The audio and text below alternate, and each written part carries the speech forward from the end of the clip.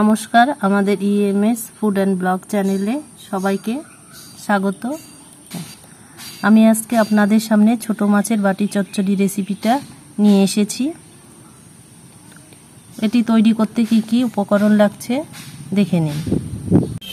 নিয়েছি ছোট মাছ, চেরা কাঁচা লঙ্কা, নিয়েছি আলু, পেঁয়াজ, হলুদ, লবণ। আলুটাকে পাতলা করে কেটে নিয়েছি। আর এটাতে লাগছে সর্ষের তেল।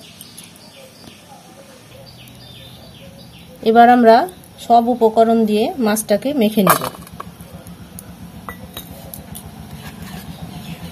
দিয়ে দিচ্ছি চেরা কাঁচা লঙ্কা, আলু,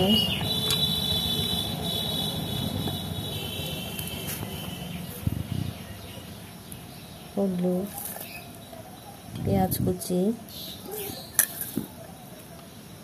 আর অল্প পরিমাণ লবণ। আর দিয়ে দিচ্ছি সর্ষের তেল।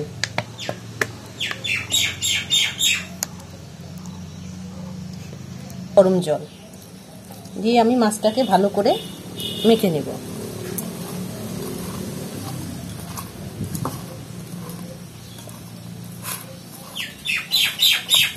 এবার আমাদের মাছটা মাখানো হয়ে গেছে। এবার এবার আমি এই টিফিন বাটির মুখটা আটকে দিচ্ছি।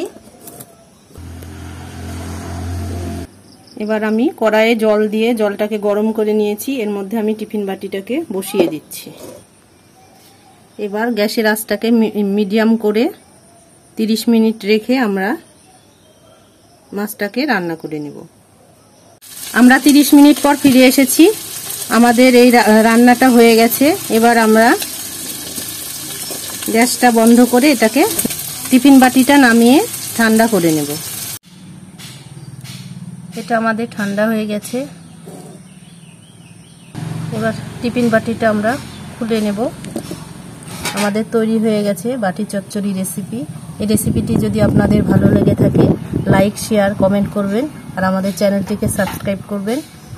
সবাইকে ধন্যবাদ।